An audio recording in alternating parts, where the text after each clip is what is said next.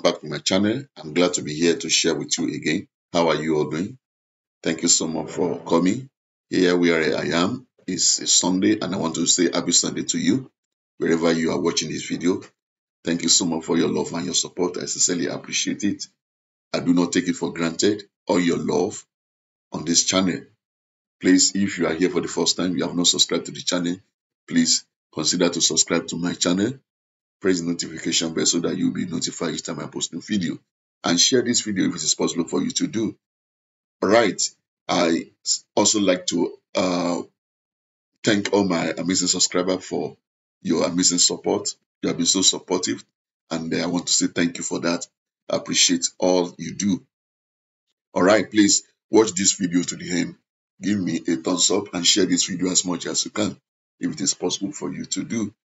All right, my lovely, lovely, amazing, new and returning subscriber. You are the best. Thank you very much. All right, let's go into the gist that we have at this moment.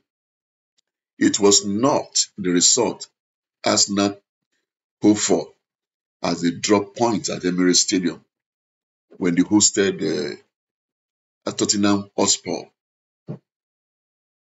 Arsenal drop point at Emirates. It was a topsy-turvy encounter that saw the first North London derby of the season end in a draw, despite Arsenal taking the lead twice at Emirates Stadium. Christian Romero had an afternoon to forget for Tottenham as he inadvertently sent a Bukayo Saka shot into his own goal after 26 minutes. But Son Heung-min pulled his side level before the break.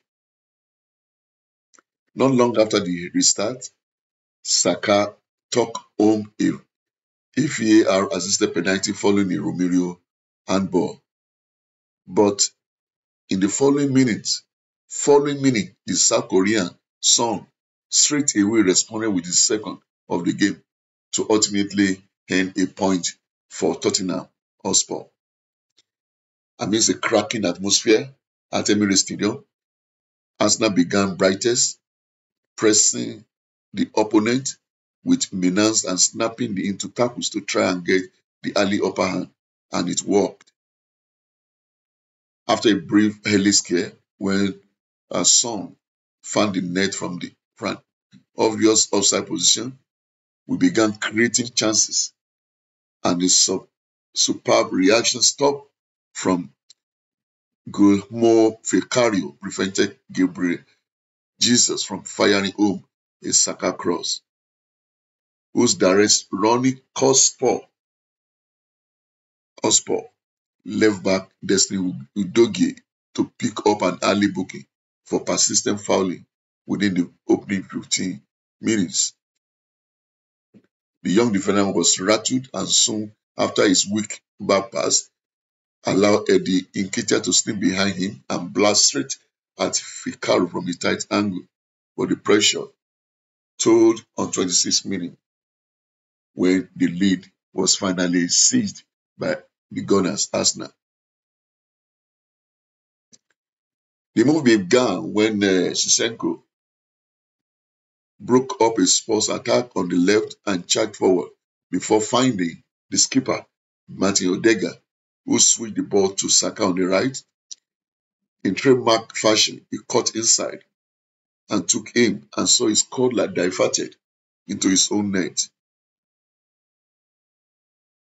by Romero to get all Gunners celebrating and the reward positively, positive uh, football. They should have been punished again in six minutes. I'm talking, I'm saying that uh, Tottenham will have been punished again six minutes later when James Maddison was caught napping on the edge of his own box and uh, Martin Odegaard slipping Jesus. But the Brazilian blazed a golden chance over the bar. And that means proof really costly as all sport.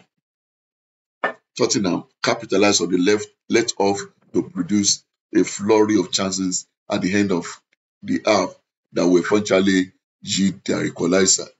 On the 38th minute, Dejan Kulisefi probed down the right, and Sons overlap created what seemed to be a certain goal for Brennan Johnson. However, David produced the first highlight of his Arsenal career by racing across his goal line to claw the ball to safety. Unfortunately, he couldn't keep his sheet, sheet clean moment later when Sport did find the net. The Spaniard did well to prevent a looping cross from sneaking under his crossbar and then denied Johnson again from the close range. But a weak clearance by one of the defenders led to Maddison escaping from Saka and Son, the only player aged 30 or more on the pitch, Use his experience and sneak in between three defenders to divert the cutback into, into the far corner of the net. Guys, if the first 45 minutes was a positive affair, then the, the opening 10 minutes after the start show that the second will be just as nail biting, despite despite Arsenal taking the lead again on the 54 minutes.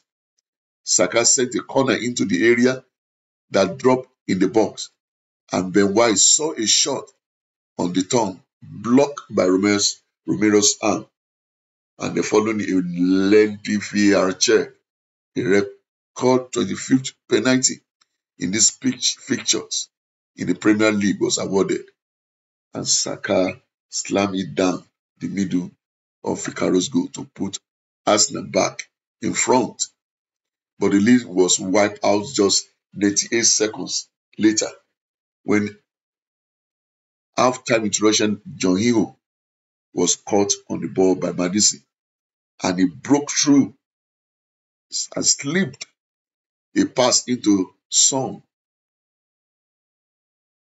to roll past Arsenal goalkeeper and put his team level for the second time. Attention now turns to Carabao Cup on Wednesday when we when Arsenal travel to Brentford for third round action. And then on Saturday, we head to Bournemouth in the Premier.